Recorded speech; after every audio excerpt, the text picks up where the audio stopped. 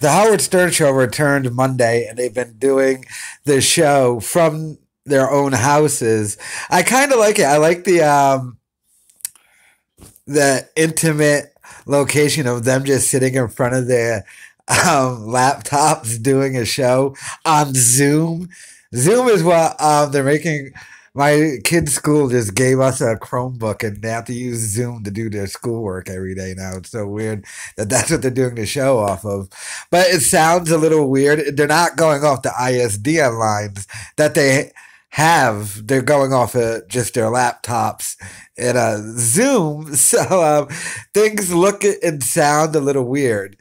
But I have to say, I kind of dig the show where they're just talking. There's no like, there's not the 80 stern writers and everything's all scripted.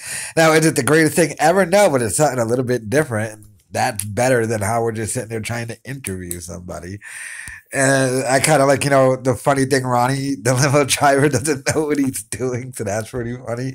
But uh but Fred needs to put the puppet down. He's got to put the puppet down, dude. But um aside from that, so they are going to be leaving the Zoom thing by Monday, Howard Stern announced.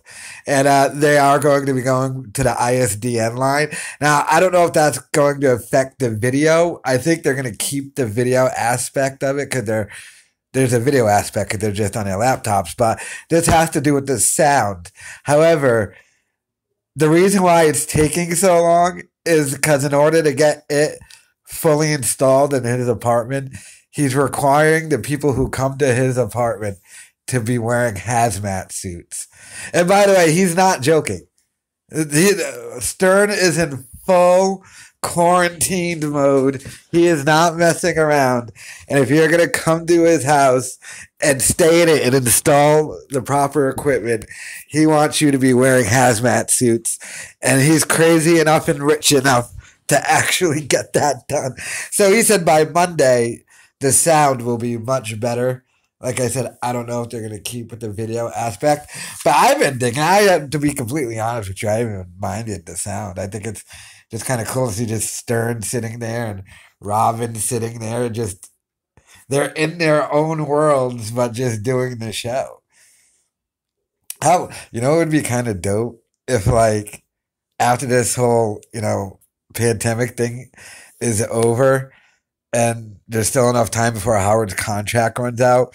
If he so got used to just doing the show this way, if he was just like, do we I really have to go back in studio? I mean, I kind of like the show the way I was doing it before.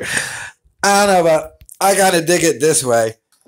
And uh, so they did a show yesterday, a show today, then I would assume a show tomorrow. Then they won't be back until Monday, but by Monday, everything else should be installed. So let me know your thoughts in the comments and what you think of Howard Stern in this um, version of the show of him just sitting at his house.